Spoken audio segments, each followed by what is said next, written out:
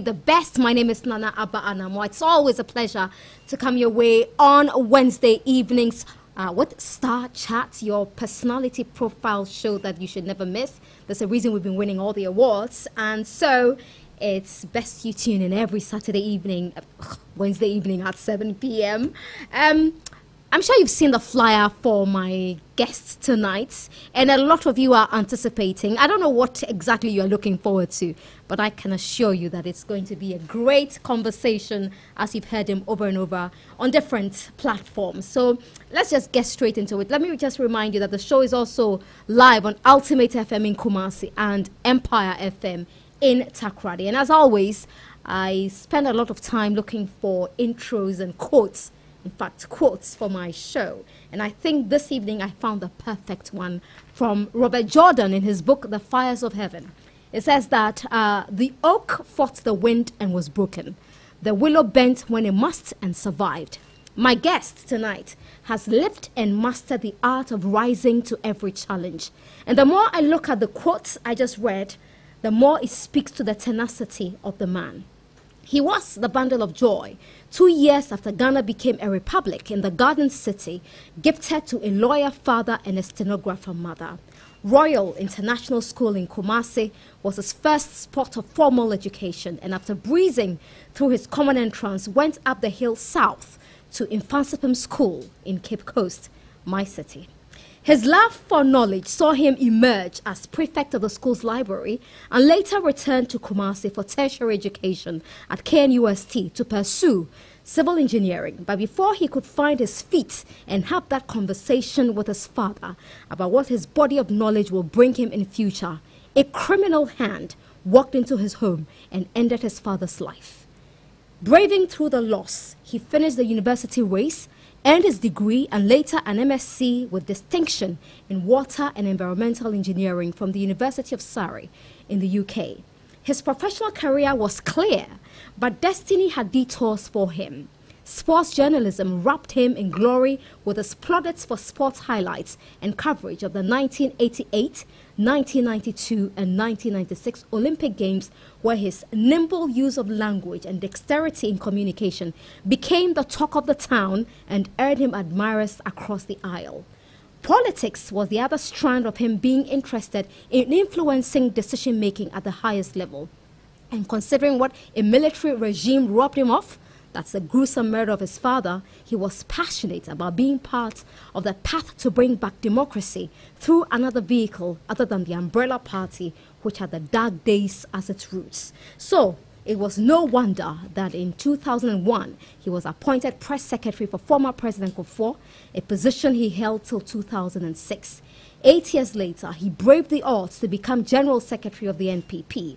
But that chapter was not without drama and controversy. Events and strained relations with then candidate and now President Kufuor saw him, Chairman Afoko, and Sammy Crabbe suspended from the party and left in the cold. Today, he holds no official political leadership position, but is a proven colossus in the Elephant Party. So, is this the end of his political life, or is there more fuel left in the tank to be utilized? Is he happy with the quality of governance today as a sharpshooter? Will he view our political culture as blossoming or deteriorating? The Tuesday born whose life kaleidoscope mirrors service, sacrifice, and selflessness with taste for the very best. Engineer Kwabena Agyepong is my guest tonight on Starr 103.5 FM, Empire FM in Takoradi, Ultimate FM in Kumasi, and around the world on starrfm.com.gh. You're welcome to the show. Well, I, I think I'm really lost for words. that is what I was hoping to get. That's right. I'm, I'm really lost for words. I've just captured my life in. Yes. Uh, Yes. In a page, I think. Thank you very much, Nanaba. You're uh, welcome. It's good to see you. Grateful to be here. Yeah, it's know. good to see you. I mean, I've known you for so long. Many, many, many years. Yes, and you haven't changed. Really? No, you haven't. you haven't changed at all. Oh, You're still I thank the same. God for that. Yeah, for that. you haven't changed at all.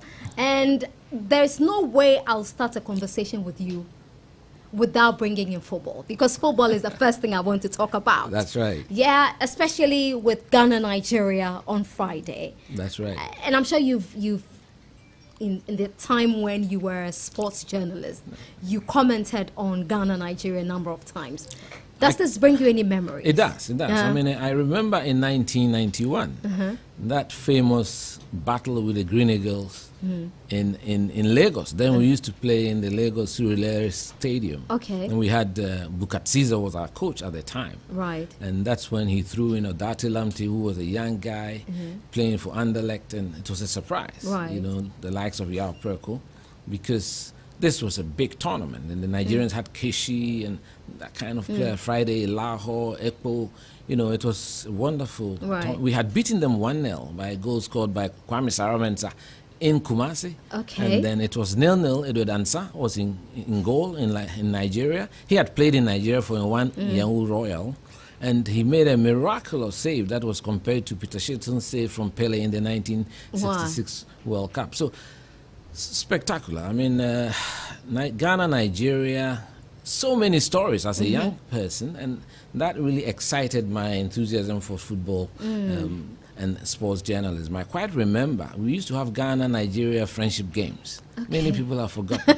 we did? Yes, we did. How long ago was no, this? In the 70s. And we used to do that, have athletics, boxing, and then the ground one at Accra Stadium would be Green Eagles and the Black Stars. And I quite Wow. remember they had a goalkeeper called Emmanuel Okala. Okay. That's how I'm sure the comedian got his name. Ah. Bob Okala. Emmanuel Okala was one of the most popular Nigerian goalkeepers, and he slapped Kwesi Ozu in those days.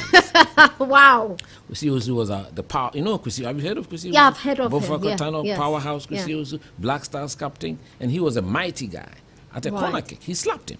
On the pitch? Yeah, in those days, football was different. Today, uh, a lot has changed. And Yeah, I that's think, VAR. Oh, apart from VAR, Yeah. they're very, very soft. Uh, Yeah. They're very brutish defenders like Christian Chukwu, who will not let you move an inch. Right. Did you prefer that to what we have now?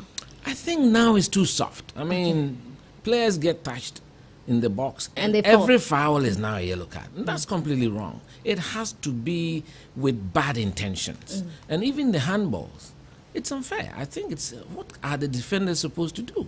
You know, if it is intentional use of the hand to gain an advantage, mm-hmm. then I think that should be a penalty. Right. But a lot of the times you can see that there was no intention to gain unfair advantage. And I Right. think football has softened. So the strikers are they are, they are, they are, they are having a good time. Go back and ask the, the kinds of trouble that Maradona went through in the mm. 1982 World mm. Cup with Claudio Gentile, Eric Gerets of Belgium. Difficult defenders, brutal defenders who kick you all day.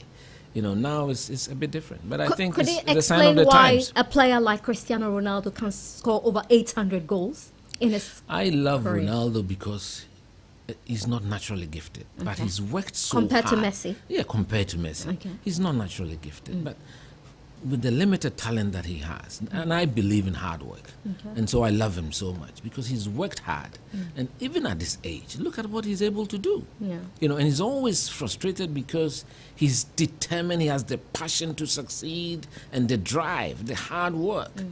and he's disciplined, and so I love him. Right. Of course, people talk about who the greatest. I'm not interested in that. I think he's he's done. And if we, the, this generation, we are lucky to have the two of them play for so long. Absolutely, yeah. And to be living witnesses, because I've seen quite a lot of great players in the past, and I think that nobody ever surpasses Diego Armando Maradona. Really? Yes, He's your all-time. all time. In fact, I have a football club in Adabraka right Uh-huh. now called Argentinos, the juvenile team. Right. It's been there for 20 years. And we Wow. produce some players for the national team. The, Right. Mm-hmm. the goalkeeper, Lawrence Ati-Zigi, was one of our goalkeepers at Argentinos in Oh, see. just across the street I here. see. Oh, And so, you went on to get a football team. That's Oh, how yes, passionate I've you are I always about. loved juvenile football. So as a kid, in, I was born in Kumasi, and you mentioned it. Yeah. And uh, we lived in. To- Um, Kumasi. Those who know Kumasi and know Krofrum, it's a tough area, you know. Uh, I, was, I was born to, I would say, middle class parents, but I loved the street. Right. Until I had friends like Komlantin, Champon, Kojubuachi. They would come and pick you at home very early in the morning. And then I'll vanish from the house without even Uh-huh. Taking breakfast. And we walk to Swami. There was a, there was And a your ch- parents never complained? they will never see me. I'll come back later to get some lashes. to get some lashes. But you go to Swami to go and watch Colts football. Right. Go to Ahimfie go to Abbey's Park and the likes of uh, Papakun, Upukunti. Those were Colts players at the time. There was a, the greatest Colts player, in my view, never became a successful footballer in Ghana. It's called Kofi Lefte. Oh, wow. Kofi Lefte. Ask anybody in Kumasi, in academic. What happened to him? I don't know. Football is like that. Sometimes it's not the best at the youth level who turn out at the professional Yeah. level. Did you ever consider playing though? Not really, a bit. I mean, we, we used to hang around, play football in corn, uh, in around corners, and then we play for six. There was one occasion we went to play, and I scored the winning goal, and they gave us six X winning in Crowford. eh, also, also fun. That was your bonus. Yes, that's a, there's, there's, uh, there's a preschool also fun to You Yeah. mobilize all the kids in around Crowford, and then we play football. Right. And in those days, when you are young, you know, you are so enthusiastic. Yeah. And when it starts raining, that's when we jump into the streets to play football. you know, you love it when it's raining. And, uh, Yeah, and the passion with which you talk about Colts football. That's you know, right. that- it's, it leads me to my next question about the state of football in Ghana now. Many believe that the absence of a solid Colts system that's right. is can be attributed to I've- the sorry state of our football I, I've said this many times, and I'm very disappointed and by what has happened to Ghana soccer, the local football. Mm. I mean, gone were the days that everybody religiously, Sunday afternoon from church, you are the Accra Sports Stadium, Kumasi Sports mm-hmm. Stadium, will travel around the country to follow football clubs. Mm. Because I believe football clubs were then owned by communities. The communities had a link. Mm-hmm. So if you go to Cape Coast, there was Dwarfs, Oh, yeah. there was Vipers, mm-hmm. there was Fankuba in Swedru, there was All Blacks. Even whole people think Volta region don't play football. Where there was Ho Mighty Eagles. No, Right. before Oh, then. before that. Ho Mighty Eagles, whole Sunset. Later on, Ah. uh, you know, and then Abuzume Weavers. These are all. Oh, that's right. Had a team. Yes, Weavers. Uh, this um, Daniel Addo. Daniel Addo of the Starless. Uh-huh. Right, yeah, yeah. He used to play for Abuzume Weavers before Oh, he I moved see. to Accra. Yeah. You know, and you go to Tamale, there was Bewa United. There was Savannah Stars before they came together to form Tamale Real United. Oh, it's only I the see. upper region had mighty rocks in Bolga, but they were not in the uh, the top division. That's the first division that we used to call it Mm. in those days. And Bo- Brown United, Bofokatano, Kumasi Mm. had cornerstones, Asante Kotoko for the natives, um, cornerstones for the migrants. So if you look at corners, you have Epson, who is a Fanti, Tetegoleku, who is an Ewe, you know, Oh. and then the Gans I and didn't even know this. Oh, yes. So if you go to Fantinu Town, that's where corners will train. You know, so uh, and Aunaga, you know, and Ah. Yeah. Adamu Danjuma, Cornerstones Kotoko was big. And I quite remember as a kid, my father took me to the stadium in 1971, and Cornerstones and Koto Koto Koto were the defending African champions. It Mm. was 1 1. Corners had a striker called Gordon Prempe Okay. bushy head, you know. He was one of the few local indigenous who was praying for uh, Well, cornerstones. But Koto Traitor. later- not exactly, but I mean, football in Accra, Mm. if you go to Gamashi, it's Hearts of Oak. Mm. Gamashi, Osu is Accra Hearts of Oak. You go to La uh, Teshie Nungua, it's Great Olympics. That's my team. That's your team. Oh, yeah. But there Only was a precursor to that. Accra stands fast. You know Oh. that. That you know Olympics. You know it was made up of Stanford. It was originally Stanford, then Olympics, then Stanford broke again, and then Right. Stan- Accra Stanford has disappeared. Right. But then in the 70s, the growth of the industrial teams. There was even an Indafa League, industrial Mm. league in Ghana, because we were playing amateur football. So the players used to work for CMB, Bank of Ghana, and, and, the, and the like. Mm. Right. Okay? And so up came Akosombo Textiles. Have you heard of the name? Mm. Yes. Akos- Yes, Acotex. yes. And when Kotoko were African champions, Acotex came to Kumasi and defeated us 3 0. they had a player called That's nice. Yao Mark, Erika Mankwa, Lumo Michel. Great players, you know. So we've seen things in the past, and later on in life, in the late 70s, 79, Dumas, that's GTP, you know. They had a football team Mm-hmm, Yeah. that was able to progress into the national championship. Right. They had the players like Isaac Akwe, Ahmed Roxon, Willie Kluche. They were all from Dumas in. Tema. You know, so football was loved by people. And I think um, that's how saddened I feel Mm. when I look at the list of the Premier League in Ghana today, and they are all individual clubs, clubs owned by individuals with no connection to any population center. I think football depends on an organic link between communities. Right. And we should try and restore it back to basics. Okay. Where we are heading towards, there has to be a throughput of talent. Hmm. You understand? A production line of talent. And in those days, if you came to Accra, the likes of Noble Aris, Ken Harrison Babies, Hmm. And he went to Kumasi, uh, Fabio also, Young Kroko, Hey, and Alaji, that's how I got to know Alhaji Grunsah. I was a kid. No, no. Grusa had, King Faisal was a Colts team. Right. Grusa was cornerstones. Oh. And anytime I meet Cruz, I tell him, Grusa, you are the cause of Corners' demise. because when you, you decided to leave your traditional Yeah. Uh-huh. club, Corners, and own your own personal club, which has no support base, Mm-hmm. And then Corners was destroyed. Corners was like a production line of top players Mm-hmm. for Asante Kotoko. Eventually, Golden Boy Razak was 16 years when he, he broke into the scene. Haruna uh, Yusuf, a lot of players, Ernest Apple, all of them from Right. Cornerstones, they all became great players Yeah. with Asante Kotoko. So Would you then say that you're quite disappointed that in the current, uh, not this current squad, but it's been like that for a while, that we are bringing in Ghanaian Ghanaian players based abroad, or no Ghanaians, foreign players. it's, it's even It's difficult, difficult to describe. To describe They're foreign players with you know Ghanaian heritage. That's right. And coming into play. If they were so much better, okay. I would accept it. Hmm. But these guys are no better than what I've seen in our national league. I've watched some of the league matches. The standard is quite okay. Do you watch the last Kotoko Hearts game, the President's Cup? I missed it. Okay. I missed it. It was a great game. Yes. Yeah. And I've watched matches between Kotoko Hearts and other teams. I watched it on Star Times, and, Hmm. and the, I think the quality is good. If we took a locally based team to Cameroon Ah. and we got even one point, that would be better than taking a foreign based team and go and get the same one point. Were you shocked? I was shocked. We've never done that before. Yeah. At least we get more than one point, you know. So um, I- think we have to get back to basics. Right. Mm-hmm. The way football is run is wrong. There is, I think, those in it now don't Has it become too commercial? football has been commercialized around the world. All right. But the passion for those who run Okay. To give something to football rather than taking something out of it. Right. That's the most important. I used to serve as a member of the Black Stylers Committee and the Black Satellites Committee in the early 90s.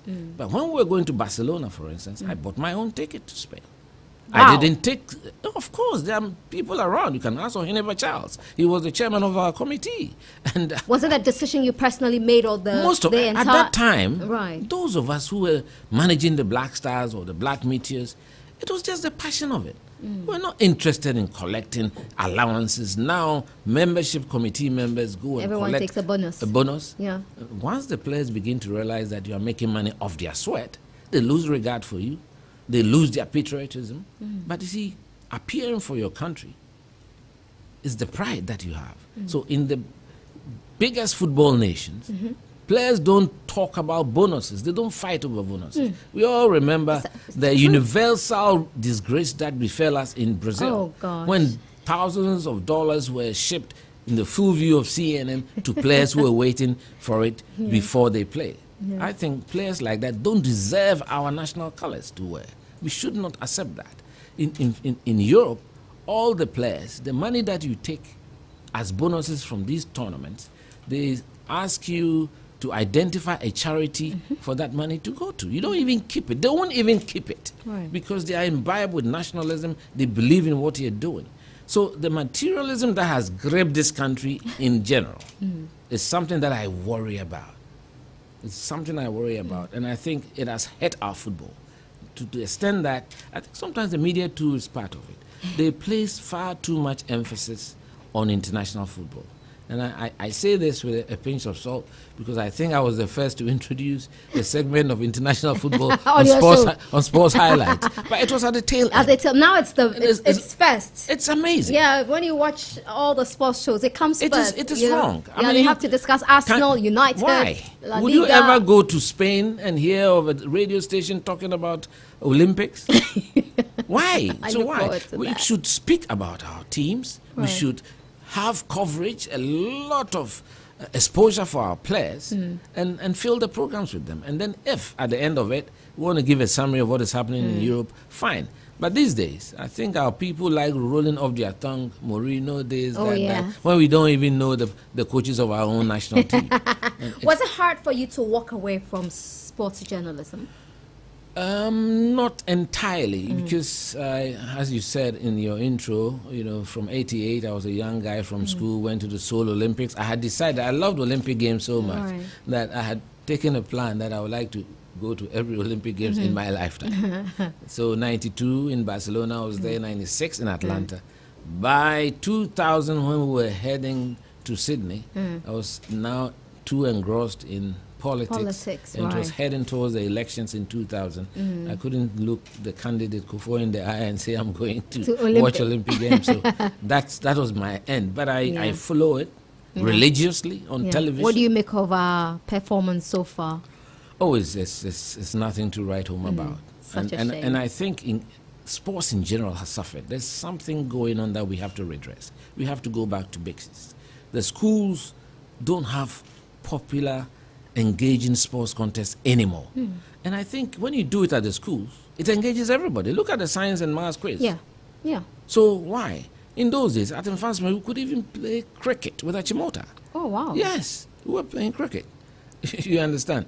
Apart from that, hockey, football, tennis, volleyball, basketball, these were all games that we were playing. So when St. John's comes from Takoradi, because they were very good in basketball, Okay. you know, uh, St. Augustine's in Cape Coast were very good in basketball. But Kwabuche and Fancy, we were tops in soccer. Oh You- really? You understand? I thought you were going to say you were tops in books. oh, definitely. That, that was for granted. That was for granted. I didn't even say that. That was, that was for granted. Yeah. right. Okay, so fast forward, um, 2000, you went into politics. Yeah. You know, you were speaking for President Kufuor. That is after the election. After the election. But before that, there was a lot more. I mean, in the early 90s, mm. when we were trying to form the mm-hmm. NPP, mm. that was when, you know, men had to be counted. It was not easy at all. I mean, I- Yeah. I, quite remember as a young man, um, part of the Young Executive mm. Forum, we had a group of young liberals who had stationed in Accra, and uh, we wanted to support the NPP mm-hmm. at the time. Many of them, the likes of Kojo Redu, Kandapa, Alan Martin, myself, Mark Menu, Akwesi Oseje, Courage Kwashega, um, Cecilia Dapaah, you know, many others, you know, who I haven't mentioned, the Sue Bening, Kufin Tim Menu, a lot of them, Dr. Heyman, you know, those were difficult days. I remember.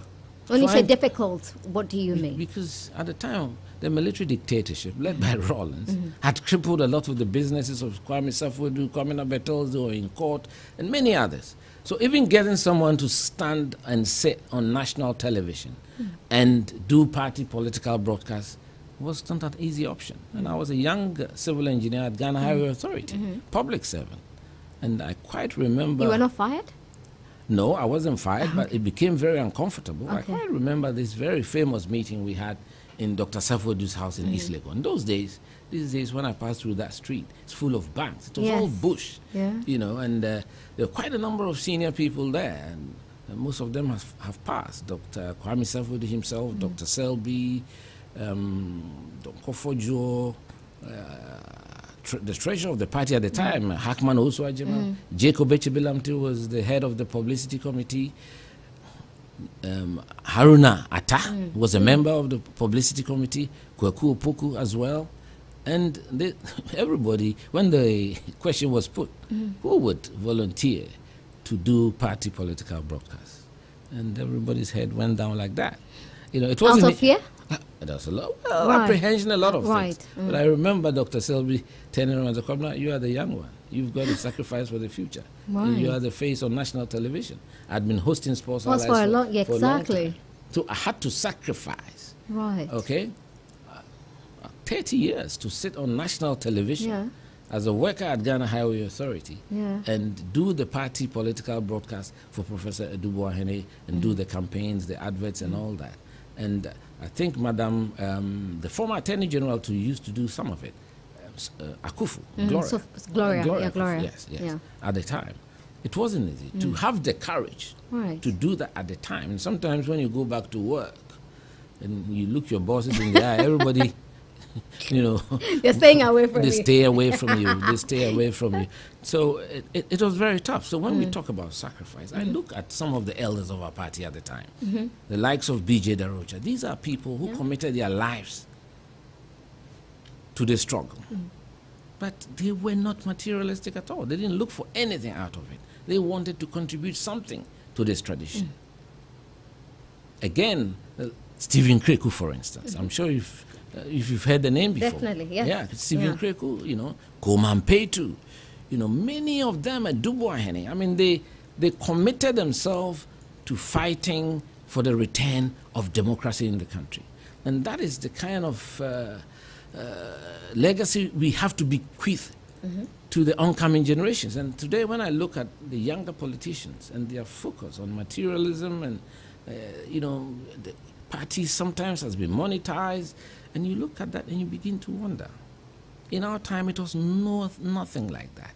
We gave something to the party. What changed? I, I think a lot a lot changed. You know, people get disappointed with leadership, the way mm. they see things go. But I think what, what is most important is for us to restore ourselves to the values that we, we cherish. And that is when I talk about service, mm-hmm. serving the party, sacrificing, being able to risk yourself for the collective good, mm-hmm. and being selfless. Once you have these character traits, you are able to discharge your responsibility as a true patriot. Mm-hmm. We did not choose the patriotic for nothing. It was based on the, the fact that you should work what you can give to the country. Mm-hmm. And I want the society to understand that let's think about what we can do for Ghana. Is most importantly, we are in government or we serve governments so that we can create an environment for everybody to be happy. Is that happening now? I don't think a lot of that is happening. We have to change that because I hear a lot of our party people "Oh, I haven't got this, that, that. You know, it's parties are voted into power to create an environment for the whole country to thrive. Okay. And it's important we do that, and that we survive. You know, it's all because of sometimes some of the feelers they are getting from political appointees, the dispensing of patronage, and that kind of stuff. Right. It is important that we recognize that we are in to serve our country. And especially in times like this, you know, we know that there's a lot of um, heat around the world. Okay? So we as leaders, when we say we should tighten our belts, we have to lead by example. Mm. So it's absolutely vital, you know. So as political leaders, we have to inspire. And what is important? Political parties are based on the grassroots, and the grassroots are the ones who should be invested with political authority. You know, once they begin to feel there's a disconnect, then that creates apprehension and mm. problems. So I'm, I'm very worried that, especially with the recent elections going on, the kinds that- of in your- in troubles. your party? Mm, yeah, the kinds of troubles that we are hearing. I mean, in times past, when there is a polling station election, you never even hear it. Polling stations are the basic unit of political activity. How did you do And- it as general secretary to keep it on the low? Because you see, you have to have an even playing field. Okay. because I believe the, the delegates will always choose who they see fit to lead them. Don't attempt to steer them in any way. Leave them alone, create an enabling environment, and let everybody who intends to be a leader in the party go and tell their story and win the confidence of that electorate. In our time, we were able to stage over 250 parliamentary primaries one single day. One single day in 2015. In a day? Yes. How did you do that? Simple, because what you do is to make sure that everybody is satisfied with the album that you have at the local level. Okay. But how do you, how do you ensure that they are satisfied? It was very simple. Okay. Because I we developed the concept of getting them registers at the local level. Okay. And you see, political party supporters or sympathizers, they come in different categories. If you ask for a party meeting at the polling station, Right. I can tell you you can only have about 20 or 10 people. And they normally know themselves. So if you go to my polling station near uh, Otinshi, where I stay at East Legon, they know themselves. Right. So when you tell them to elect their own five, they know the people who have been working with them. any attempt to doctor that, you know, will be met with a lot of uh, resistance. Mm. You know, and right now, um, is that what you think is happening well, now? is it being the- the- doctored? no, I wouldn't say it's being doctored. Okay. The, some people feel there's Okay. a, an attempt to orchestrate. All Let's right. allow the grassroots to choose who their five. Why, would they? Why would there be an attempt to orchestrate? I mean, if it's I don't want. I don't. I, I. What is important for Okay. me now, and I think it's important that we all focus Okay. on the party and the government. Okay. In fact, if you are a true NPP person, Mm. the fact that we are in the second year of our second term means that we should not take for granted the trust that the people. Do you think people still trust you? Do Ghanaians still trust the NPP, despite the many promises you made to Ghanaians? Well, I think even the government, mm. by going to the retreat last week, admits that there are issues that it can deal with. But all of us have to pray and work hard that these things improve. And there's enough time. There is enough time. Of course, the opposition will try and put a lot of pressure with a lot of propaganda and create that kind of perception. It is incumbent on us as a political party and as leaders to help in whatever way to make sure we have a successful tenure and work to the satisfaction of the Ghanaian would you people. say that that is that for me mm-hmm. is more important than who succeeds the president. Okay. And I think now, unfortunately, the impression is created as if we are waiting to install someone, which is wrong. We shouldn't do that. We create the impression we believe more in campaigning than governing. We have been put in office to govern, to do things to the satisfaction of the Ghanaian people. And we have a lot of great flagship um, programs, Programs. that we have put in place. But of course, there's always room for improvement. And it's important that as a government in Ghana, There are many Ghanaians who believe that these flagship programs haven't helped them at all. I mean, the, the, the, the, the one thing the NPP is always happy to talk about first is free SHS, uh, which has had its own challenges. But yes, it's been successful uh, thus far. A lot of Ghanaians have benefited. But you take other flagship programs that the party campaigned on. What, is important Mm-hmm. for political parties is that to have the enthusiasm at the base. Parties is, that, is that enthusiasm part- still there? We have to reignite it. There's no doubt, if you want to be honest, Mm. that there are a lot of issues that people have raised.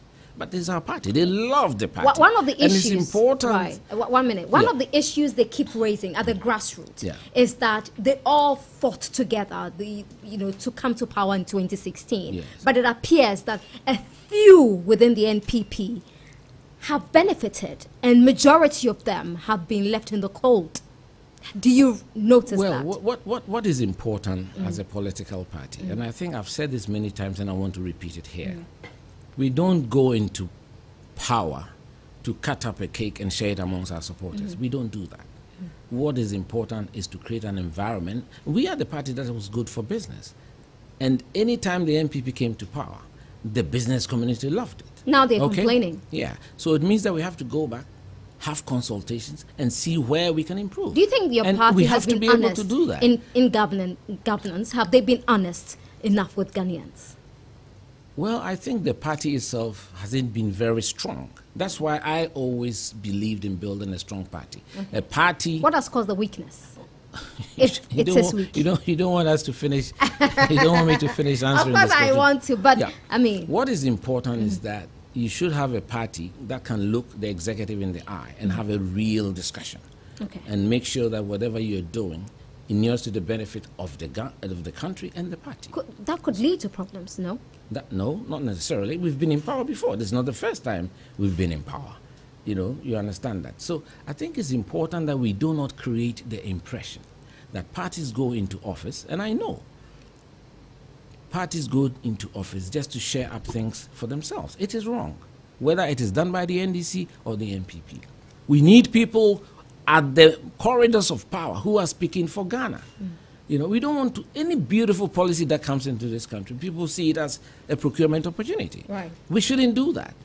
We should have the national interest paramount. That is too critical, and it's something that I am very passionate about. Okay. And that's why I dedicated myself to to serve this party, to Okay. sacrifice for this party. So it's absolutely important. If you look at the likes of Professor Adu Boahen, what they have been through to be able to bring us where we are today, and I see some of the things that happen, we have to rethink and reconnect with the people. Thanks such It's, it's, uh, it's absolutely important that those values become supreme. Okay. It's absolutely important that those values become values supreme. such as you talk about. I've talked about service, selflessness, service. sacrifice. That's right. Right. I mean, for instance, I was a bit taken aback. Mm.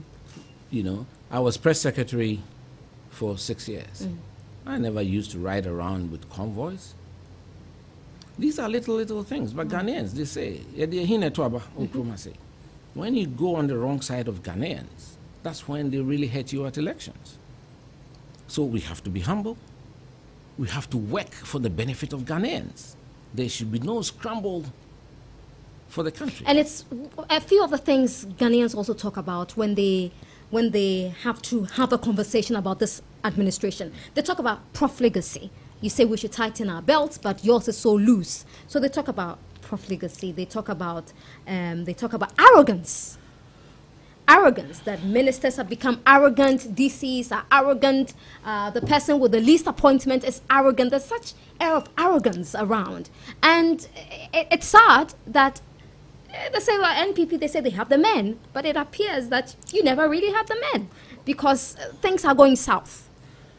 I wouldn't respond to that by look. Okay. I'm here. It's a personality uh, That's true. interview. okay, so I, I don't think Right. um, I, as a as as an NPP person, Mm. I use all the channels of communication I have, and I have back channels to Mm. talk to some of my friends in government. And of course, I'm not going to sit here publicly and say all the kinds of stuff that you expect me to say. But most importantly, but you know it's true. what is important is Mm. that we have a duty Okay. we have a duty, we have a mandate, and we that mandate should not be abused. It's absolutely vital that we don't abuse that mandate. We go on and let the, the grassroots know that they have the power. In fact, when I was general secretary, I always adopted the posture that all the 275 constituencies should be like infantry fighting units. Hmm. So you recall, I created account, made sure that we put in account for all of them to be connected to Ghana Commercial Bank. You start rebuilding the party at the base, give them the wherewithal to be able to do political campaigning at the local level. The confidence and the inspiration. Once you inspire them, they'll do more. They'll, they'll be dedicated, they'll sacrifice, and that's the beauty of political party mm. activity. This party was formed on the back of volunteering spirit. When people are dedicated to sell off their houses and mm. contribute to the growth of the party. Mm. Okay? So that spirit, which appears to have waned, is something that we have to work hard to rejuvenate. Right. Okay? And I use myself as an example. Are you happy with the work of the current general secretary? I'm not here to criticize one person or anybody. All I'm trying to say is that mm. we have a duty to the Ghanaian people. Okay. We have a duty to the Ghanaian people. And I know the NPP has a base that is much stronger than the NDC. Really? Oh, I do. Um, we are always guaranteed something like 46, 47 percent in an election. It's absolutely important. So are they? Maybe I would, I would say 42, 43. but it's, it's close. In Right. Ghana, elections are always going to be close. Always going to be close. But we have, we have the head start. Okay. And it only depends on how we conduct ourselves in office and make sure that the base is happy with what we are doing. And actually, we have, we have the processes to be able to determine that. Okay. Now, I, I want to move on to a part of your biography uh, that reads In April 2014, he was massively elected as a General Secretary of the NPP. His tenure as General Secretary was, however, unceremoniously curtailed halfway under a sleuth of concocted allegations and vile propaganda. Yes, Yeah, you still stand by that. of course I do. I mean, look, as I've indicated earlier, I am an eternal patriot of this party. And it didn't start from today. Seven Dubois Henning, Kufo, mm. Kufuado, mm. Chermating, been press secretary for six years, mm-hmm. and then general secretary. I believe in the supremacy of the party. So we set about to build a party that is strong at the base. Of course, some people were not happy with it. Okay? So all sorts of things were happened. And we all knew the end result. But I am. I believe that when you, you mean well, when you mean well, and you love your party, nothing can take you away from your focus. So, in spite of all that, You never once thought of giving up on the party. no, not at all. In fact, in 2016, towards the, the uh, towards the elections in 2016, I made sure I put together resources and supported 10 constituencies. Oh, in the despite the problem. I was on suspension. Right. But I said, look, I have to sacrifice my party. In fact, what happened, not that I supported or I believed in what happened, but I mm-hmm. felt that I didn't want to endanger the chances of this party in 2016. So I kept quiet, Okay. kept very silent. Not that I didn't have anything to say, but I, fe- I felt the party was supreme. I am always prepared to sacrifice myself for the party Because that's what you had done in the past. in the past. Yeah. You know, so I mobilized resources. Northern Region 20 constituencies, Brown 20 constituencies, Ashanti 10, and many others, just to support them. And again, in 2020, I was still on suspension. Yeah. And the president called me to come and help with the campaign and be around the campaign. Unconditional love for this party. I didn't ask for anything. I didn't request for anything. I went out there like I usually do. Hmm. The support that I gave to Kufuor, the support I gave to Dubois, I gave it to him. We went around the country, and even with that, it was a very close victory. Yeah. You know that. Yeah. You know that. And since then, I'm here. Right. Okay? I'm happy, carried on with my life because I love the party. What is important is the principles that Busia, Danquah, and the rest they stood for. You understand? When we say development in freedom, mm. we truly mean development in freedom. When we talk about public service, we mean serving the public. So it's absolutely vital mm. that we, the leadership of the NPP and all political parties, have to communicate this. If we allow the general population to lose faith in political authority, mm. and I quite remember in 2007 when Asiedu Nketia was calling the 17 uh, aspirants thieves. I, I remember. The beauty pageant. Yes, I, I retorted powerfully in an interview when he was. I said, you, you shouldn't do that. For political expediency, if you run down the political establishment, you are destroying the very foundation of our country. And it's become so, it's, it's a cliche now that politicians are associated with, you know, stealing. It's, Th- I think does it's it wrong. worry you? It is. It worries me a Yeah. lot. In fact, that motivates me to remain in politics. Right. I made most of my whatever I have when I was a civil engineer, a young Right. consultant. Yeah. Where I stay. In fact, I, I stayed in my house and decided never to move into a government bungalow, although the place was Far. very far at Yes, the time. I And know. national security always kept on. You have an apartment in cantonments. I said no. The bad experience I had living with my dad in the government bungalow and how we were, uh, Right. you know, jettisoned from there after his shocking demise. I said I would never stay in a government bungalow. But I'm just saying this hmm. that we should communicate the right things to the people of Ghana Okay. that not all politicians and that a lot of people have served this country who mean well. And there are people who mean well for this country. And so this thing that is hanging around like a dark cloud, that politicians come in and come and, take. dig up gold, mm. is something that we have to work at our generation. No, a lot, a lot of Our young people feel it's a, it's a career uh, to it be a shouldn't, it shouldn't be. It shouldn't be. it shouldn't be. You sh- everybody should build a career for himself. Mm. It's a calling to service. Right. And when you are given the opportunity to serve, that's what you have to do to serve your people with the best of intentions. Mm. Of course, it will come with some remuneration, but that is not what it is. Right. Because all the great people that we talk about, the da Rochas of this world, the Peter Ala Adjeteys of this world, at the beginning of the party who were sacrificing, I don't think you can move around Accra and start mentioning houses No. that they have. Uh-huh. They didn't need it, Yeah. and it's not necessary. And we need to be able to communicate that to the younger generation so that they understand there's joy in serving your country. I'm not sure how that will happen now. well, I think it's going to. I mean, Yeah? I, I will be on a crusade to do that, to All convince right. the younger generation. We need to put our hands on our chest and, and, and say the pledge of Ghana and, And the national it. anthem and mean and know the words and understand the words in the Right. national anthem because there's beauty in loving your country. right. And that is what it is. Okay. But though it was reported a couple of I think somewhere last year that you had an appointment at Gapoha. What happened to it?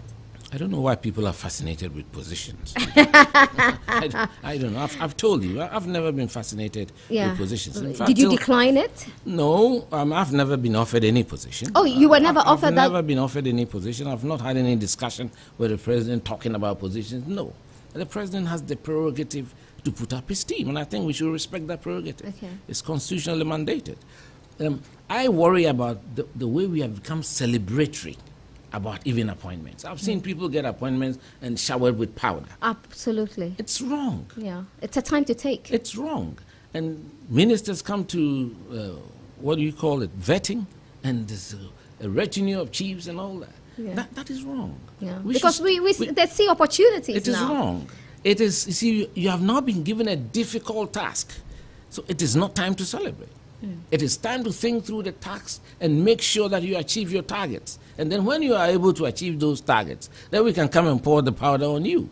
So we should stop this celebratory mm. atmosphere that hangs around political appointee, appointees mm. because they, it makes them lose the focus.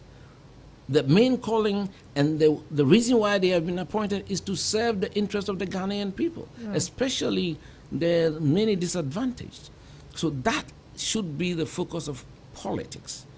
And I think I stick by that. Mm. Uh, it, it, I'm sure you'll be the only one on this campaign. I'm not sure no, any no, of your colleagues will I, join I, you. I think I think you're, you're getting it wrong. Really? I, I, speak to a lot of people. And they are people are passionate about this right? country, not disillusioned. They are passionate about okay. this country, and I think we have to push that. Okay. And let the younger generation know that there's joy in serving your country. Right. And creating a beautiful country. I just came back from Costa Rica attending mm. the World Engineering Convention. And you go to the beautiful country. Neat. I never saw any extension behind anybody's land boundary. Mm. Not one. Not in the city capital, San Juan or San Pedro, anywhere else I was. Yeah. And you come to Ghana. The last time I was in Kumasi, I was almost in tears. Yeah. I went back to where I used to stay in Krofrom as a kid. Mm. You know, and I remember as young. It's changed? 10, 12, we mm. could hide under the hedges because it was all green. Oh, it's all gone now. Green is all gone, replaced by kiosks and containers.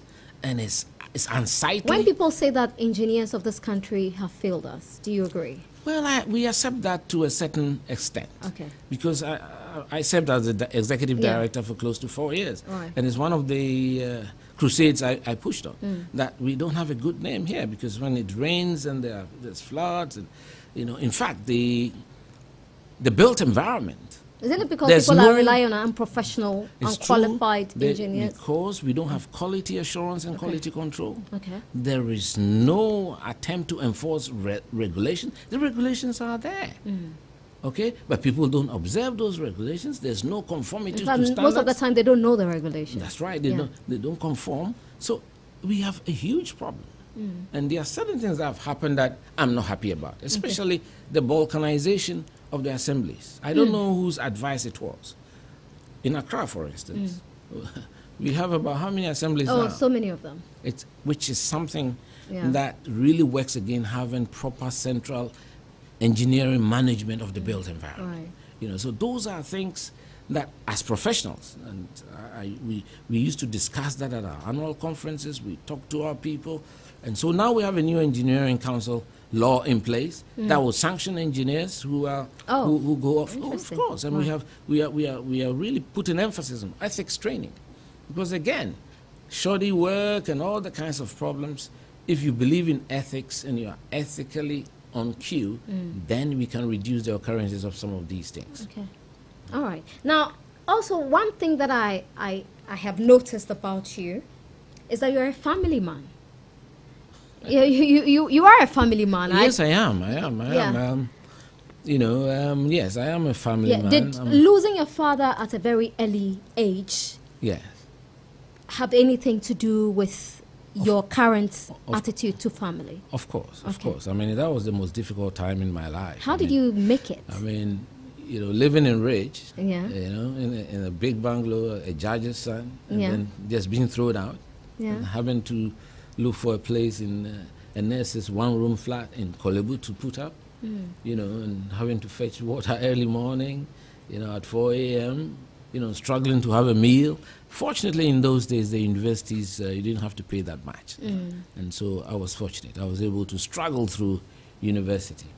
So I said to myself, um, because we, we we were a large family and a lot of siblings, so my mom had to take care of the little ones, and then I had to hustle. I had to just Wow. find my way and struggle through uh, because there was nobody to turn to. Of course, God, I'm, I'm very divine, Yeah. and uh, God gave me that mental fortitude. And my father inculcated a lot of um, steel into me. He, he was a tough guy, Mm. but he was not materialistic. And, uh, you know, when you are young, you argue with your parents. You don't have this, you don't have that. And your friends, all your friends have it at in fancy. That's right. and uh, you know, so um, that builds me, you know, mm. to, to have the feeling for, especially the, the empathy and, the, Right. and for people. And so I know how it feels to go without a meal mm. in a day. So. So I support a lot of people, even in my current situation when I don't have very much. Yeah. But I support a lot of people Yeah. because I identify with them. Right. And I think anybody who goes into politics and who drives around Accra and you get to a traffic joint and you see these women with children Hmm. sweating under the sun and you don't feel a pain in your heart, you have no business coming around politics. Right. It's very important. It is important that political officers have empathy and know that they are there to serve the public, not to lord it on ourselves. Right. So when we create the impression, as you said, hmm. you know, when people feel that political figures are lorded it over them, it's not good, especially in a country such as Ghana. Right. We have to be very humane, very caring in the way we talk to people, the respect. I've looked at how political discourse on television and radio, Radio. has completely deteriorated. Yes. People think that you have to come and shout, And insult, insult, people, yeah. and disrespect people, and that makes you a politician. Be- because when you do that, you get a position. You catch the eye it- of whoever is appointed. It is wrong. Right. I remember as General Secretary, when former President Mahama was on tour in other parts of the, uh, in Germany or places, some of our supporters were displaying banners attacking him, and I said it was wrong. I got attacks from, from within my party. Mm-hmm. And if you had seen that interview, as if I was a prophet, I said I would not like to see future President Akufo-Addo treated like that. Mm. You understand? So what is wrong is wrong. Right. We have to, you know, today, I watch social media and Ghanaians, as if we've forgotten our culture. You might disagree with the president or some political leader or mm. a chief. But as a young Ghanaian, you can't insult your president. It's You that, it's one of my biggest You problems, honestly. And Yeah. people just insult, Yeah. use unprintable words, Yeah.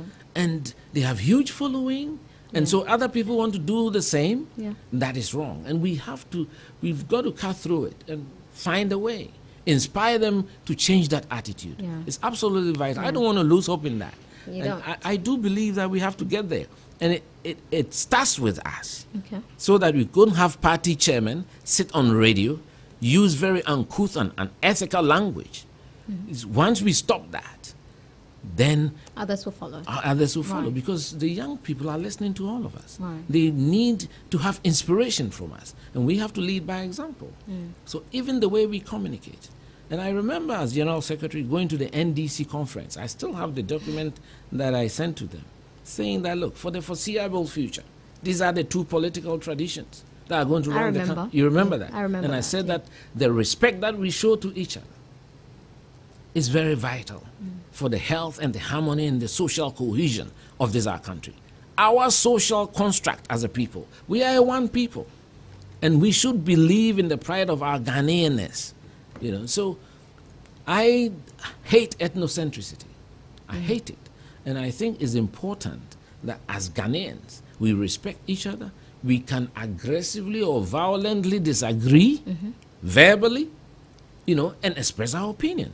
But it's against our culture mm-hmm. to be insulting our leaders much more our heads of state. Yeah. It is completely wrong. And I think a lot of you, the media people, should discourage it.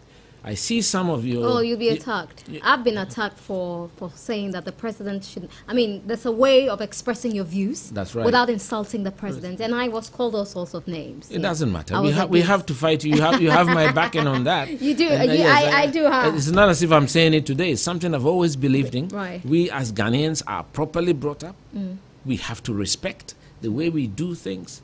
And we also should demand respect from our leaders and how they conduct things Absolutely. and how they run our country. Did you ever forgive ex-president Rawlings, the late President Rawlings?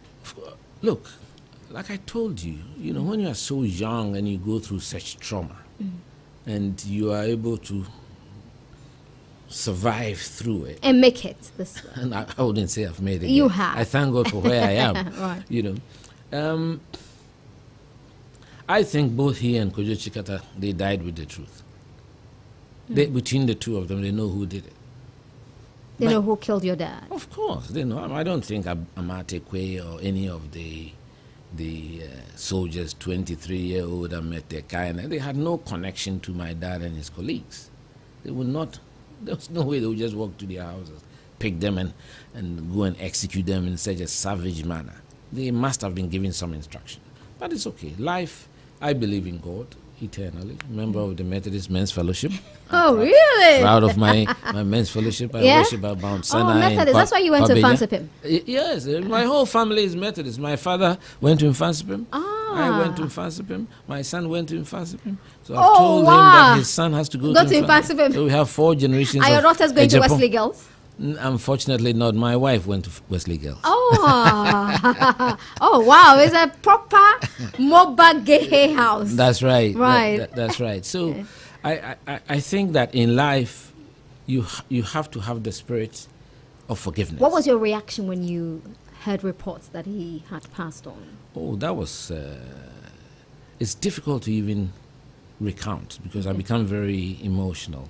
I was a young person, you know, because of my love for soccer. I had gone to the stadium that Wednesday, you know, and uh, I was sitting at the table having dinner with him at night. It must have been around 8 o'clock. Those days, the curfew was around 9 or so, and the call came through that uh, Justice Koranteng-Addow was not well. They used to have their chambers very close in the Supreme Court building, so um, my father was needed outside uh, to go and have a look.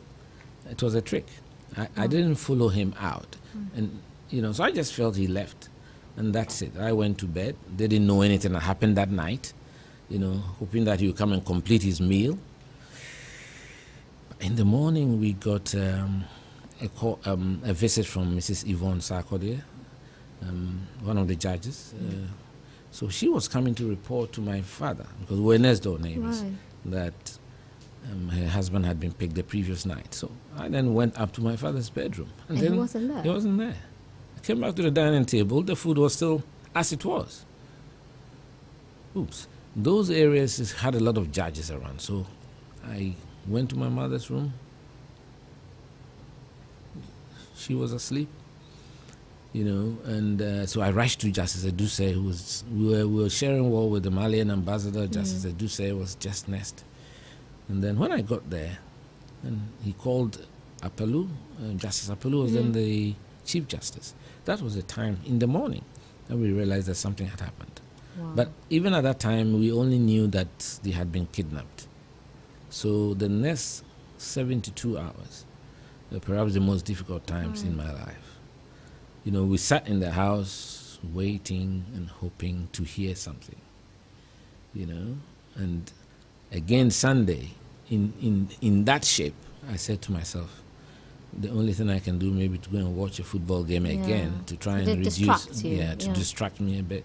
So we're very close to the stadium, you know, where, Yeah. where now we have the National Cathedral, Mhm. one of those bungalows. So I walked to the stadium, watched the match. It must have been a Wafu match, Hasaacas, I think. And then when I was coming home, I realized that there were a lot of cars around our house, and they were beckoning me to, you know, to come. I didn't understand what it was, so I rushed, and they told me, "Oh, they've just been informed that uh, the charred bodies of my dad and his colleagues."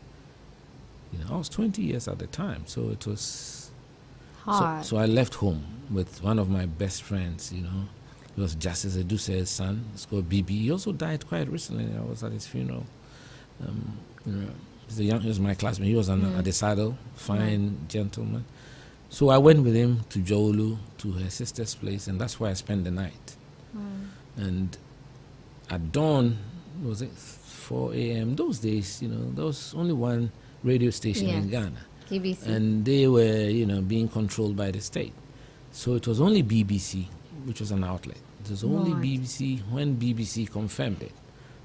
At at the uh, is it they have this early morning program on Africa.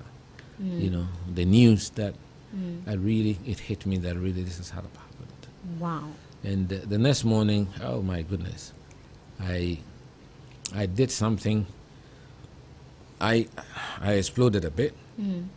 Went to the Interior Ministry because Johnny Hansen, who was then the PNDC Secretary for Interior, was my father's very close friend. They were all lawyers, and he had been to the house maybe three, four weeks earlier. So I went to him, a young twenty-year-old, mm. furious, crying, asking him what happened Did he give you and he answers? can't give me an answer. So I scattered his office, pushed his table. Fortunately for him, he had an outlet. There was another door, so he got the police to hold me down, and he, he, he disappeared. You know, so I went home. Later on, he, he was one of the few people who called me, uh, who sent me a. I still have his card. You know, he would send me a card to just encourage me and all that, and I've kept it as one of my memoirs you know, from Johnny Hansen, who Right. gave me good wishes in life. You know. Right. And fast forward, what was your reaction when you heard that former President Rawlings had passed on? Well, very mixed. You know, I think that nobody, I don't think any child deserves to lose their parents. Right. So the first thing I thought about was the kids and the wife. You know, but I also felt, well, so we never got to know. Maybe Amedeka will appear one day. Um, he was one of the soldiers who managed to escape miraculously. And uh, I had a campaign of five, and about seven press conferences since 1999. And, you know, and Amedeka was hanging around in Lome. I don't know where he is now.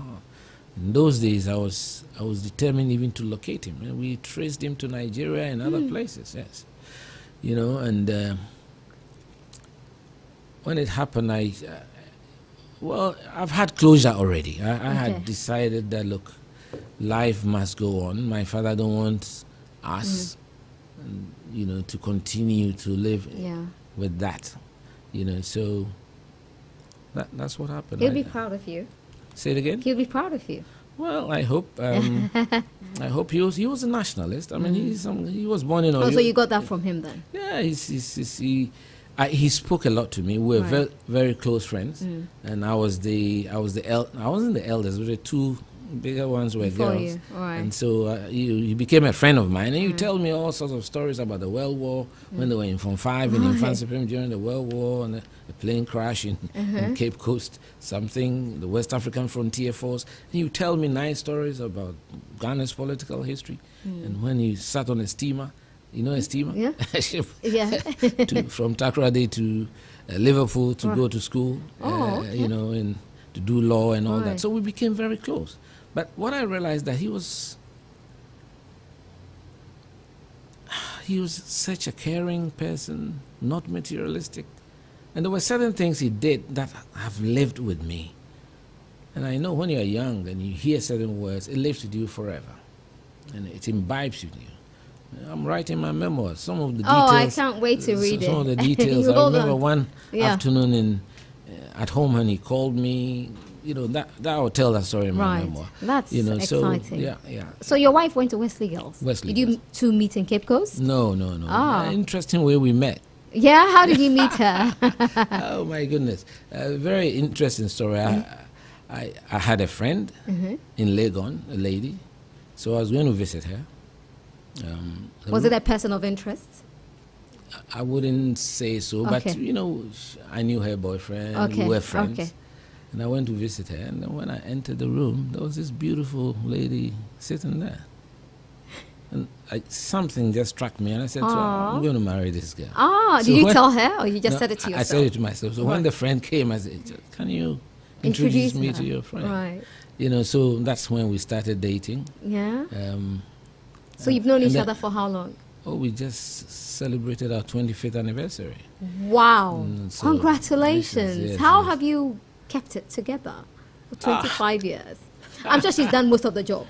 Really? Ah, well, the women always do the job. No, I'm also a good guy. You know? Right. I mean, I mean, I, mean, I, under, I, I think. Your, your, your wife is staring at you. Can you just. She's wondering, huh?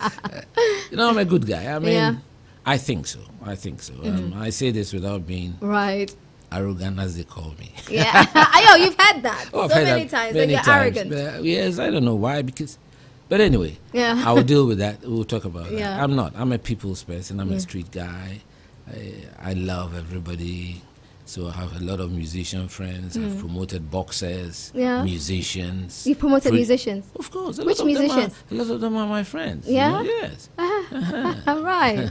So, who's your favorite musician then? Oh, Daddy Lumba. Without. any- Oh, wow. You're a Lumba fanatic. I'm a Lumba person. Yeah? You know, in fact, I visit him from time to time. Oh, you do? Yeah, How so is he doing? He's good. Um, I Okay. Mm. went to see him maybe a month ago. A month. He's, he's living quite close to me. Right. So we had a little chat, Yeah. you know, and uh, Okay. I love him. And yeah. uh, So 25 years together with your wife. How many children? three. Oh, Three are you going to add on? Are you going to add on? Oh, your She- wife she just doesn't the, the want look me. your She- wife She, gave. she doesn't want me because you see, I said my father had 14. So And you- I you want three, more? Three is too few. And I keep saying, And your wife says no. no, you know, today's educated women, they don't want, they don't want to labor. well, she wants to work. well, she's a professional. She's a professional, yeah. But you know, I, I think it's unfair. But how many would It's you want to have? Another 14 or beat no, your dad's six, record? Six. Oh no, six. You want six? I want three more.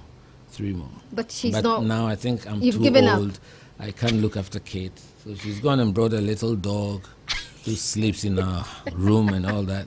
But I, I, I take Well, it. she's making up for. You know, but I think Right. um, relationships are very important. Yeah. um, is our outlook towards women Mm-hmm. and working together as one and enjoying being with your wife and celebrating and respecting her. Mm. What's the one thing that hasn't changed about her? about Your her? wife, yeah. Hey, Or maybe two or three. No, the one thing. Oh no, she's Yeah. Mm. she's very loving, but she's very strong. Right. And I these days I fight her a bit because you know as she's grown, she's become a bit of, you know, those do who do the women lobby, women emancipation. you know, so Yeah. but she's. I mean, I, I think it's good. Mm. Um, I always feel that in Ghana there hasn't been a deliberate attempt to push down women. Okay. I may be wrong. That's how I felt. Okay. And, and, and so, if we are not careful with this aggression for, as they say, affirmative action, the young guys are going to suffer. And I think the statistics are beginning to show. They are telling from the schools now. Are, Yeah, the female enrollment has it's, it's, it's, shot up. It's, astronomical. yeah. You know, and the guys are just falling out. And it's not very good.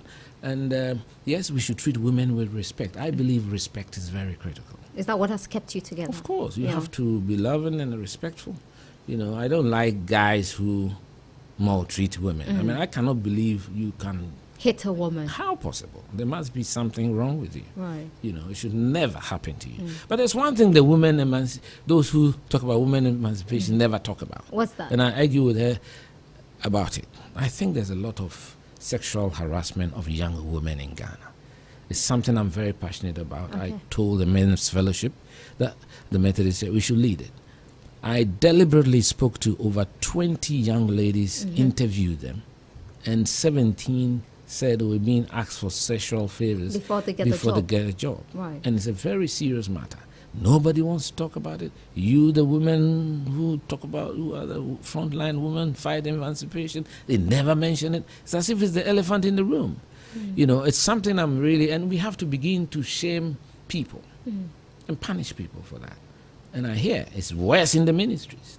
Oh, I, I'm- I'm here. I'm hearing that. tell me about you it. know, Yes. Yeah, it's, it's, I see a lot of uh, women talk about it sadly, and these are women who have experienced it. That's you know? right. But they don't come all out to talk Well, about I, I it. They realized this because some snippets. some ladies came to me for sponsorship, and I was able to just my modest thing sign up, and and they were surprised. yes, they, in fact they left my office, then walked back in. that there's said, something missing. They, they said, Uh, what Mr. time are you Agyepong, going you are, to? the, you are the only person they've been to who hasn't asked. I said, what are you talking about? Then, so I was shocked. Mm-hmm. You know, so these are very serious national issues.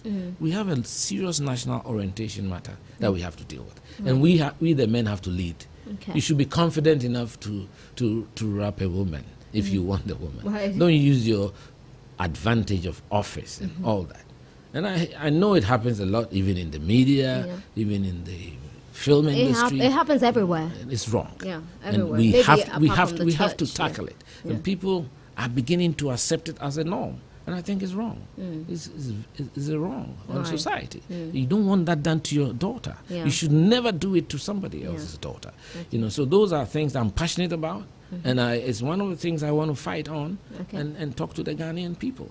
We need to believe in our pledge Absolutely. and believe in our country and do what is right. Absolutely. So for somebody from Kumasi, I mean, you mentioned that Methodist through and through. Yes. You never considered Prempeh College? Ah, I'll tell you the story. you know, Royal International School was my primary school. And When, we, when we got to, um, in those days, was stage five or stage six, stage five. Hmm. And then, you know, the Kumasi teachers were so in awe of the Cape Coast schools Hmm. Ah. that they said, oh, okay, now you are the top student, so, So we'll give you Cape Coast- Prempeh or, no, they said Prempeh or Pokuare. Okay. And one other guy, so all of us, none of us. Mm-hmm. I went home and I showed the form to my dad. Mm-hmm. He was angry and livid. Because it has to be emancipated. So he was the one who got who got it changed. He Wow. came back the next day. Our our our, um, our teacher was Mr. James of, of blessed memory, and he said to him, "I went to Mfantsipim from Oyuku in the bush. My son is going to Mfantsipim Oh school." Oh my You God. know? And in those days, I, I used to be quite brilliant. I, Yeah. I, I was one of the top students. Well, you ended up as an engineer. You definitely have to be brilliant to go through that. you know, so um, in those days, the Mfantsipim school will write to you when the brown envelope arrives in your house. Yeah. You see the Mfantsipim stamp on it. It was so know. much pride. Oh, so much pride. Yeah? So it's, it's, it's, it's something that. It- How did how did Mfantsipim shape you? I mean, Oh, I know Mfantsipim boy, Kwabotwe boy is how you talk about you know the kind of No. men who have gone through your school. Mfantsipim Uh-huh. was a difficult place. yeah, Discipline, toughness. A lot of my toughness, apart from proof room, Mm-hmm. being around the street walking about, Mfantsipim, they would really bully you. really. It was tough. I mean, serious bullying. But it was good. It, I think it toughened us. Okay. You know, you know, in infancy, somebody can tell you to sleep under his bed, and then you sleep on the bed because the springs are weak. Oh, you can imagine. Ah, yeah. You know, and pulling your nose and many things. Filling the gap. And then Yeah. I, my wife says I'm the best dresser of a bed. In yeah, fact, I, you, you were taught that. Yes, because you have to dress two beds. Your senior, you have to go and dress your senior's bed before you dress your bed, before you leave. And woe betide you. In Mfantsipim, in my house, Lockhart Schweitzer, we were not good at athletics or sports, but we were neat. So we were winning all the, the competition on neatness. On Right. Saturdays, they'll come around, open everybody's trunk, make sure your things are well laid, your bed is well laid, and your fingernails well cut. And Wow. woe betide you if you are deducted max. Means you can't go to town that weekend. you know, you're not allowed to go to town. Right. You know, and uh, although later on I used to run away without Yeah. exit. Yeah, you were never soccer. caught. Uh, caught once, but the sportsmaster, he knew I loved sports. Right. So Kotoko and Hasaacas in Cape Coast, Right. you know, not in Cape Coast, in Takoradi. In we, Takoradi, we wow. ran to Takoradi. Wow. to go and watch, Yeah. you know, with uh, Daniel Kerma, Uwaski. You know, Are they all around now? Danny, Daniel Kerma, he was in the uh, um, the arts business. He died Oh, right. not long ago. It was my colleague. Yeah, yeah, yeah. He was working with Jacob Echibilam at Atlantas. I Mm. Think he went to NAFTI. Okay. Yeah, yeah, Daniel Kerma. You know, so um, Mfantsipim really taught Mm-hmm. me the discipline, Right. You know, that I think is needed to live a life. Mm. And that's why I am a, a disciplinarian. And I believe in imposing order and discipline. It's absolutely vital. Has it changed? I mean, your son went to Mfantsipim, but has anything changed at Mfantsipim now? Well, I. Have they become softer? A bit. Yeah. When I look at my son, but I think it's down to the JSS system. Right. I have Oh, been you- against you- it. you- I have- really? oh yeah, I think we should go back to the O levels, A levels, because in those days you leave home at 12 years. You know, so you spend seven years in school, and you go and meet your sixth formers. They look like puppets to you, and you serve them. You get trained, and by from five, you are even becoming an adult. Yeah. And now you can't tell you know, because when somebody is finished GSS, what are they? But in those days, when people finished O levels, I don't want to be political here, but that's why I blame the Rawlings administration and the, the, the PAMSCAD and taking on things from the IMF, uh, so that we should change our schooling system. What has it produced? Has it achieved the intended objective? I don't think so. Yeah, they said it was going to create middle level labor and technician. It hasn't done that. And I think that the JSS is the worst thing to happen to Ghana, in my personal view. Uh, people can disagree with me because the beauty about the boarding school system at the time, in my dormitory, we had Brody Mens, whose father was a minister. We had uh, Daniels, whose father became a minister in Limann's regime. We had the farmer's son, Abuaji. We had Nimo from Krobo. We had everybody, different parts of the country. We became like a bond, you know, and you didn't care whether somebody was from Somanya or from Kumasi or anything. And it built us together. It built the country together. You know, now we are not careful. If you are born somewhere, you've got to go through JSS, and if you're not careful, day school there. It's not good for our national cohesion and our identity. It's not good for it. We have to Is a computerized selection program not solving I don't even. I don't. Well, I don't like that. I. I, I don't like that. I'm a bit uh, conservative. You know Right. the CHAS. You know we used to have those. Uh, the conference of assisted Yeah. schools, the Yeah. headmasters of assisted schools, and if you want to go to Mfantsipim, I selected Mfantsipim, Ghana National. Mm.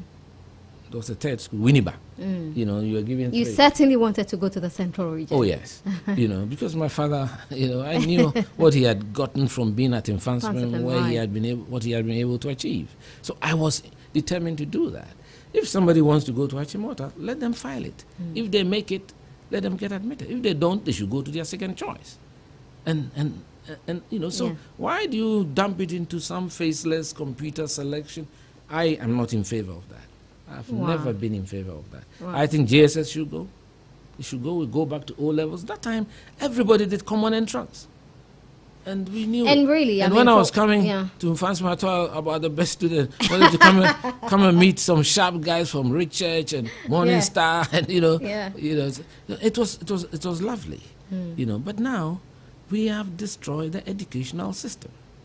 Is And- free SHS worsening it? I, I wouldn't say so. Okay. It has provided an outlet for those who couldn't Right.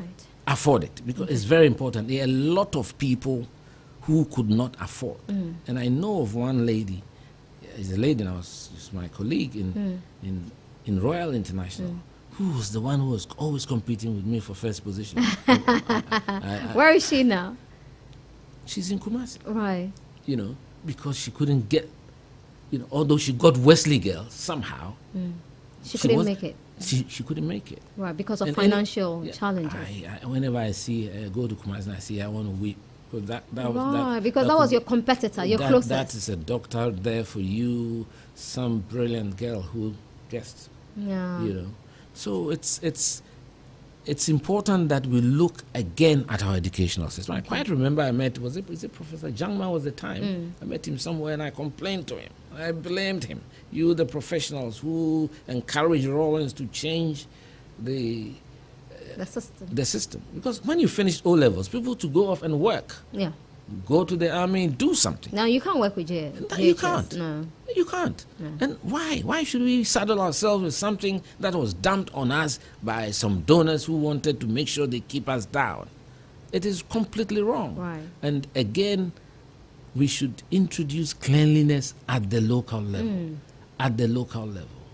It's absolutely vital that we, we become green, environment friendly, You, you must be a climate change. of um, course, yes. yes. I, I serve on the World Federation of Engineering Organizations Committee for Engineering and Environment, and I'm I, I'm You are pro-climate. of course, I'm, I'm, my postgraduate was in environmental engineering, Right. so I'm, I, I, I, I don't want to see a tree knocked down, Right. you know, and I see it happening, and people should be made to replace that tree at a cost. Right. You know, so we have to build our country with the kinds of values that others have thrived on. We don't need to reinvent the wheel. Right. What do you do for fun? Apart from For fun. following football. Oh, I'm a time. I, am a time man. You Oh, you love to party. That I know. You know, That I I, I, know. you can find me in most of the clubs. Now they call them clubs. We used to call them discos. Disco. when I say disco, the kids say, "Ah, that's an old man." you know, That's so true. If I go to in those, I used to go to before COVID. I'll go to Moving Peak, Oh. and then I'll go to Plot Seven, and then I'll go to Twist, and then I'll Oh, get oh, home. wow. I'll get home at three, and then I have a visa on Fridays for my have wife. been just you know, I I've been to Twist just one. Oh, she gives you a visa. on, on Friday On Friday night. On Friday night. And so but sometimes I drag her along, and she doesn't Ah, like this she, very that- much. uh, uh, she doesn't look like the type. she doesn't like. she it. went to Wesley Girls. Oh yeah, but you know she's she's good at partying too. she, oh really? Oh, yeah. Maybe just at her at, in her house. Maybe. Maybe just in her house. Anyway, um, I mean you've you've said so much. My takeaway uh, for the night is the is the fact that we need to serve. Absolutely. We need to serve. That, Service, That's my sacrifice, and selflessness. right. The capacity to give to those who do not have, Hmm. the ability to support those who don't have, and the empathy. If you don't have the heart for that, don't go near politics. Don't Right. go near it, because this is what 35 million people Mm-hmm. who need to be loved. Yeah. So if you don't have that affection, that love to give, don't go Mm-hmm. near it. So we want to encourage everybody, the younger ones, who think that their quickest route is politics. it is wrong. Yeah. you have to have a career. I'm an engineer, yeah. okay? Yeah. So do little consultancies here and there. Of course, politics has dominated my life, but I have always something to, Mm-hmm. To fall. fall. Absolutely. You understand? And I think everybody should do that. My other worry Mm. is the, the, the, I, I don't know what word to use, but the way the polytechnics were changed Hmm. To universities. I think it was atrocious decision, completely. Because that middle level technical support yeah, that we need yeah. to support industry to operate and maintain Now the polytechnics are, you know, offering human resource. I don't understand. Uh, All the humanity humanities courses, marketing. yeah. You see people they say they're doing marketing, Uh, yeah. finance, some new courses. I don't understand it, Yeah. and there are no jobs there for that. We want to industrialize. We need those who operate and maintain the machinery, the pro- the, the processing companies and all that. That's what we need as a country. Right. It's been an absolute pleasure talking to you. Oh, Yeah. thank you very you, much. You, you, you are a great talker. thank you. yeah, I'm sure you've been talking your whole life. not not exactly. Yeah. Not exactly. Just I feel very passionate, Passionate about, about, what, yeah. what I'm talking yeah. about. Thank and, you. uh, Thank you so much I'm very for grateful. honoring our invitation. very. Engineer Kwabena Agyepong. Thank you very much. Yeah, much. wonderful talking to you. All right, that's it for Starr Chat. We have an interview on South African tourism uh, coming up in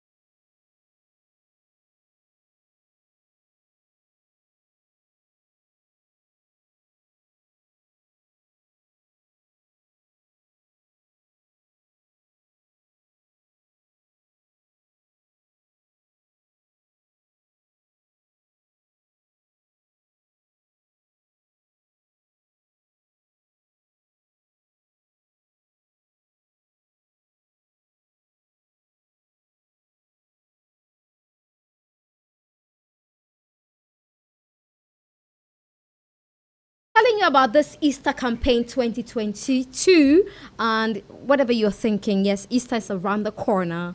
I know everybody's making plans and I'm sure, trust me, Easter is great in Cape Town. Um, if you haven't been to Cape Town, there's an opportunity to go to South Africa. Wherever you find yourself in South Africa, go to Cape Town and make sure that you go to Stellenbosch and enjoy some wine. Anyway, it's good to have you uh, to talk about um, Easter uh, for what's the name of your company again? From Stella Travel. Stella, Stella Travel, and you're promoting this Easter campaign. Exactly. And your name is Rita? Rita Donkumbari. Donkumbari. That's a nice name. Where are you Thank from? you. I'm from Upper West. Okay, what does it mean? You don't know. Oh, I know. I do know. I do know. you have to think for a minute. but what I does do it know. mean? It means enmity will never end, Oh, unfortunately. oh, interesting, interesting. But let's talk about Easter uh, 2020 campaign. What what is all of this about? Okay, so um, Stella Travel, Mm. in collaboration with South Africa Tourism, Okay. are planning a couple of trips to South Africa. So we are looking at three cities. That's Okay. Durban, Johannesburg, and Cape Town, which is Oh, my yay. favorite. You know. Yay! Yay! Definitely Cape Town. You can't go to South Africa without going to Cape Exactly. Town. Yeah. So um, what we are looking at, we already have packages made, Okay. but no one is restricted to that. Okay. If you have your own ideas of what exactly you would like to do in SA, you meet us, then You discuss. we'll discuss and do and it is possible. It's no very, matter very what your plan is, it's possible. It's very possible. And but of course, it will come with a cost. Exactly. Okay. So averagely, how much are people paying for this trip if they are interested in going to South Africa? Okay, so the most expensive city in South Africa, I'm sure you know, It's is Cape, Cape Town, Town. of- of course, So yeah. if you're looking at um, um, five nights, six days, Mm. hotel, tours, and flights, roughly around 23,000 Ghana cedis for Cape Town. Okay. But the other cities are a bit lower compared to Cape Town. But even that is a good deal for Exactly. twenty three thousand to Cape Town. Uh, what's that in dollars? Twenty three. so you're looking at um, that in dollars. Um, That should now the cedi is misbehaving, so I can't even because it, will- it might change tomorrow. Let's stick with twenty three thousand So they walk into your office with twenty three thousand cedis. Yes. Whatever happens to the dollar is not their business. no. Absolutely. That, I mean, that's very important to note. All right. But if you're thinking about this package, yes, uh, Durban is beautiful. Where else did you mention? Johannesburg. Johannesburg is beautiful.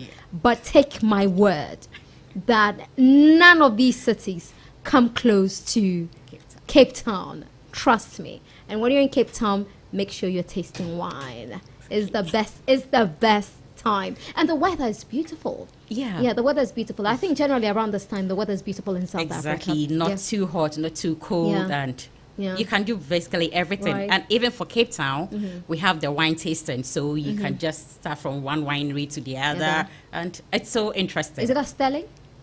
we'll do all that You do all that. Oh, exactly you're that's going to about five different wineries so Okay. The- oh, that's interesting. And um, what is the duration? I mean, what's the deadline for signing up uh, to this package? okay so since we are looking at easter and considering visas and other things roughly by second week in april latest Okay. you should have Second contacted us for us to assist because um, the High Consulate is willing to assist us on this very package because we are doing it to South African tourism. Can I bring on my best worker at Starr, Starr FM? You can bring Uh, anyone but I'm not all. paying you. I think we'll have to look at that We'll, we'll talk what- about yeah, that. It sure. should be possible because Sure. I'd love to have my best worker go to Cape Town to indulge. Sure, we'll have a look indulge. at that. We'll, definitely have a look at that. I'll yeah. take your word. Don't, don't, worry, I'll give you pressure. It will happen. And so you have till now, between now and second week of April, Yes. to book. And I'm telling you for a fact that yes, Ghana is beautiful. There, there's so much to explore in Ghana, but they also say travel and see. Uh, it's good to go and see other places, come back and try to. Uh, you know, roll out some of the things you see in other countries. And so I'm telling you for a fact that going to South Africa for Easter is one of the best things you can ever, ever undertake. And my preference and my recommendation is Cape Town at all costs. Yes, maybe it's just a bit pricey, but it is m- value for money. It is worth worth it. You may probably want to stay longer than the five nights or the six nights that uh, you are offering. Anyway, so what should you do and not do as part of this package if you're signing up? Okay, so if you're signing up, it's basically five nights, Okay. six days. Okay. If you have a partner, If you have a partner, yes. You're partner- paying Okay, the of price might go, a up little because of up, up because of airfare. airfare, yes. Right. Okay. But that's the only difference. Beside Okay. that, everything is just almost the same. okay. Yeah. And so we were talking about the do's and don'ts. Okay, so this. um, this trip, let's say if you were to be going alone, you won't have, I mean, you have to um, handle your own transports and other stuff. But for this very package, you get your meet and greet at the airport, Mm. you're taken to your hotel. Every tour that you're going on, there'll be a car waiting for you to take you to the tour, then back to your hotel. So Oh, basically, VIP treatment. Exactly. Basically, Yeah. you don't have to do anything. But if you were to be For going on, twenty-three thousand in Cape Town. That's really cool. very cool. That's really cool. Very because cool. Cape Town is expensive. the most expensive place in South Africa. Yeah. And getting it for 23,000 Yeah. is the best. Yeah. You can't ask for any other thing. It's uh, it's the it's the it's the Easter egg given to you for free. exactly. Definitely given to you for free. Okay, so how do we book? okay, so for those who want to book, they can either visit our office, Where? which is in the Grand Oyeman building at airport. Airport, okay. Yes. Or We don't want to travel all the way. Give us a number to call. Okay, so the, the number booking. is um 0244 736641. Yeah, what's right? Zero two four four seven three Six six six six four four one. one. That's the number to call. Are you on social media? It's Yes, easier that way. Yes, so for social media, Mm. you have to go to um, okay, so the website for South African tourism, you'll find all this um, Okay, packages there. So that's Okay. www.southafricatourism.net. Dot net, of course. Yes. Okay. Okay. And uh, on social media, do you have a Social media, so you find Stella Travel on Instagram, Stella Travel FCM on Instagram, on Facebook. You're not So- on Twitter. Not yet. Why not? We'll You be going there very soon. should. So at Stella Travel FCM Um. on Twitter and Facebook. Don't worry. I'm sure people. Is that your number you gave out? Ah, so they are calling to book. We better wrap up so they can book their their trip to South Africa. Next time you walk into the studio, just put it on silent. It's not your fault. It's Erica's fault, the producer. She failed to tell you. Don't worry. It's not your fault. Um, but I'm happy someone is calling. Um, and so if I come in and I want to do Durban and Cape Town, it's possible. Yes. It's possible You can do to all the three cities. What if I want to do Pretoria? It's not yes. bad.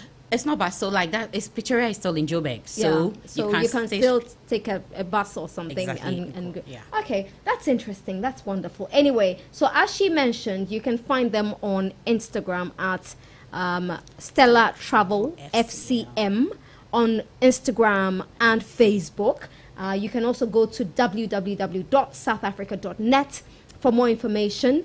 And they take mobile money. Hello. Oh, you yeah, do. we do. You- they take mobile money, so you can definitely contact them. Remember that this is a one-off package. The price is amazing. It's a jaw-dropping package. You should sign up. South Africa is value for money destination. Trust me when I tell you this. Forget about the other cities. Definitely go to Cape Town and have a time of your life. The weather is beautiful. The people are lovely people. Lovely, lovely people. And um, Stella Travel is putting together activities for you and your friends and family. Go meet other families as well. Network, connect, make deals in South Africa, especially when you walk into these uh, the, the the wine shops and the yeah, you have a good deal there. So southafrica.net. That's it. www.southafrica.net. There's another um, one here. IG Travel to SA. Is that also a handle Yes. for you? And they're on Twitter. Travel to SA1 on Twitter. Twitter. We'll get confused with that one. But yeah, it's been amazing talking to you, Rita. And I hope that people sign up for this to experience South Africa, to experience Cape Town. And uh, we'll talk about getting my stuff. One of maybe I'll put my producer Erica on it. I know people are going to be very jealous, but she deserves it. Erica, do you want to go to South Africa? Do you have a passport? Erica, do you have a passport? I'm, I'm not sure she has a Oh no, we can even assist her to get a passport. Oh, you can assist. Oh, you We can, do that. So if you Yeah. don't have a passport, Stella Travel can still help. Exactly. Oh, that, all for 23,000. Oh, that's a cool deal. I should have met you earlier. you should have indeed. I should have met you earlier. Thank you so much, Rita. It's been amazing talking to you. And I think that we will push this for you. It's a good trip. It's always good to travel out of Ghana, come back and run a few ideas. Thank Yeah. you so much for having us, and we'll still think about putting one of your Oh, don't on don't board. don't think It's about it. problem. Just say just say you are doing it. So because Erica says she has a passport, I'm sure it has expired, but we'll renew it for her to go and have a time of her life in South Africa. No be small slaying. the girl is always posing in front of doors on her WhatsApp status. But yeah, it would be great to have in South Africa. But Stella, um, Rita of Stella Travel, Yeah. all the best with this, and um, I hope it turns out great. Ezekiel, are you jealous? It's like you want to go to. Thank you. You want to go to. South- Weren't you in Dubai recently? Uh, I, would- I would like to experience it. Oh, you want to be a globetrotter? Baby. anyway, thank you so much, Rita, for talking to us. Thank you for tuning in to Starr 103.5 FM this time for Starr Chat live on Ultimate FM in Kumasi, Empire in Kumasi, Bliss King, the man, uh, the ma- oh, that's a mine, the man who controls night radio, will be walking in in a bit uh, to give you the best of the night. But don't forget to follow the conversation on social media and sign up for this trip to South Africa through Stella Travel. Have a beautiful night, Rita. Thank you. Have a good night.